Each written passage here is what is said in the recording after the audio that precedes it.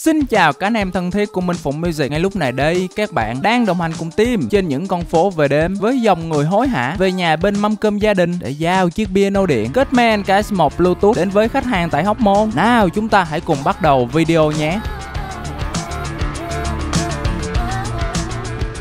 Bên trong là thiết kế phòng khách rộng rãi và sang trọng, nội thất được tô điểm bằng những ngọn đèn màu đầy tinh tế. Và đây nhân vật chính Gatman KS1 Bluetooth được hai bạn mang từ phòng khách chậm chậm lên từng bậc thang, rất dễ dàng lên đến phòng cho khách. Các bộ phận của cây đàn gồm có thân đàn, chân đàn, bệ đàn, nguồn, sách hướng dẫn, ốp lắp đàn. Tiến hành lắp đàn cùng tim nhé các bạn. Đầu tiên chân đàn bên phải được gắn vào với bệ đàn, tiếp đến là chân đàn bên trái. Nhân viên cố định chân với bệ đàn, đưa từng con ốc vào vị trí và siết lại, sau đó gắn nắp chụp để tránh reset ốc. Sau thời gian dài sử dụng tấm chắn sau đàn được nhân viên gắn vào cùng với chân đàn. Và pedal vừa mới lắp tiếp đến sẽ dùng từng con ốc siết mạnh và giúp tấm chắn, không bị bật ra ngoài. Cuối cùng là lắp thân đàn lên trên và dùng bốn con ốc vặn cố định. Đây là vẻ đẹp đầy tinh tế, sang trọng. Mà KS1 Bluetooth tối điểm cho không gian của người chơi với vẻ ngoài thiết kế đầy ấn tượng, màu trắng tinh khôi, phù hợp với mọi không gian. Phát lên mình dáng đứng đầy nét cổ điển. Giá nhạc thiết kế to, dễ dàng cho người chơi để sách nhạc hoặc ipad cùng logo Cutman màu đen bóng, làm điểm nhấn đầy nổi bật cho chiếc đàn bên cạnh điểm nhấn của ngoại hình thì phím đàn bằng chất liệu cao cấp tạo cảm giác thoải mái cho người chơi trong thời gian lâu dài với nắp phím tăng vẻ thẩm mỹ cho đàn bằng kim loại màu bạc kiểu trường đầy hiện đại. Còn chức năng ấn tượng trên KS1 Bluetooth là gì? Cùng mình tìm hiểu nhé. Đàn trang bị 88 phím với 5 cấp độ cảm ứng lực nhấn, 128 polyphony, 20 âm sắc mang sự vượt trội về âm thanh giai điệu, được trang bị hai cổng phone vô cùng tiện lợi sẽ truyền âm thanh đến tai nghe và cả phát ra loa đàn kết nối không dây với app học nhạc như Simly Piano, Perfect Piano bằng MIDI Bluetooth ngay trên đàn giúp tiết kiệm diện tích dây cáp mà bạn phải dùng cổng USB